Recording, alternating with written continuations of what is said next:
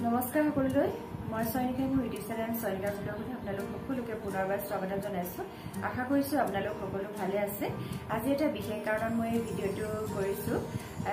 আচলতে মোৰ two K subscriber complete হৈছে ইতিমধ্যে আৰু এয়া কেৱল সম্ভৱ হৈছে একমাত্ৰ আপোনালোকৰ সহায়ৰ বাবে।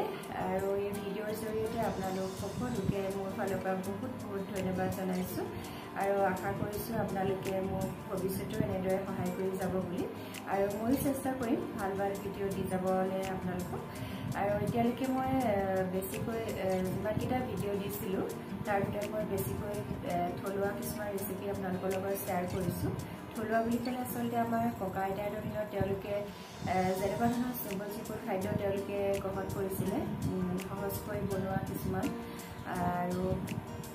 বিশেষ একো মছলাৰ ব্যৱহাৰ নকৰাকৈ সুস্বাদু কিছুমান খাদ্য তেওঁলোকে খাইছিলে আৰু তেনেকুৱা ধৰণৰ খাদ্য কিছুমানৰ আপোনালোকক সোৱাদ দিবলৈ চেষ্টা কৰিছোঁ আৰু আপোনালোকে আঁকোৱালি লৈছে মোৰ ভাল লাগিছে আৰু ভৱিষ্যতেও চেষ্টা কৰিম তেনেকুৱা ধৰণৰ ভিডিঅ' দি যাবলৈ। আৰু আৰু বেলেগ ধৰণৰ ভিডিঅ'ও মই দিছিলোঁ বাৰু তেনেকুৱা ধৰণৰ ভিডিঅ' দিবলৈ চেষ্টা কৰিম। আৰু নতুনকৈ ভাবিছোঁ মই আৰ্টৰ কিছুমান ভিডিঅ' আপোনালোকৰ লগত শ্বেয়াৰ কৰিম বুলি ভাবিছোঁ।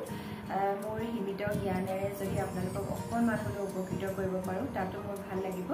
আৰু আপোনালোকে মোৰ ভিডিঅ'বিলাক চাই যাব। আৰু নতুনকৈ যিবিলাকে আজি মোৰ প্ৰথমবাৰৰ বাবে ভিডিঅ' চাইছে তেওঁলোকে মোৰ চেনেলটো ছাবস্ক্ৰাইব কৰি দিব।